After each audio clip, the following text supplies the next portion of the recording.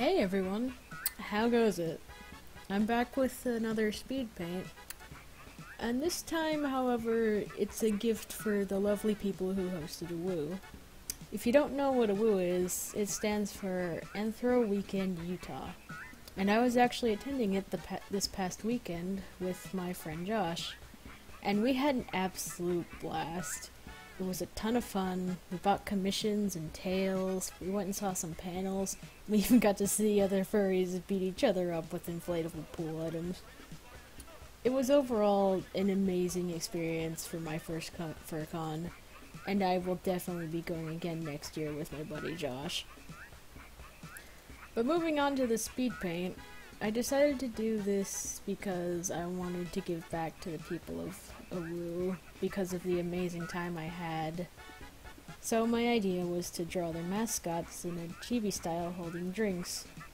I chose drinks based on the limited descriptions of the characters that they had on their site.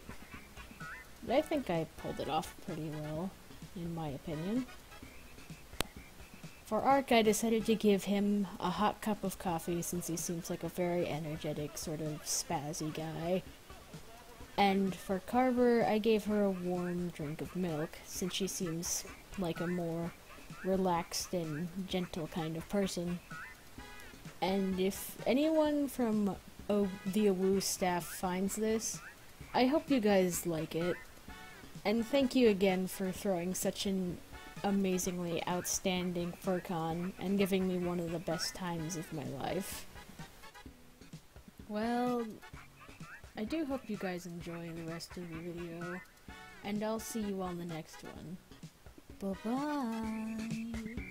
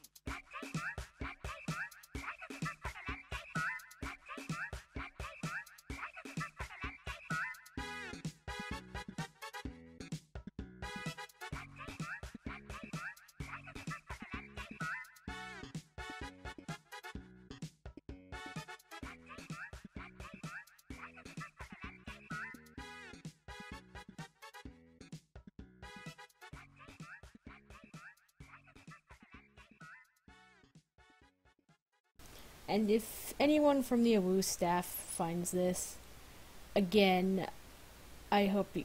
Wait. Fuck.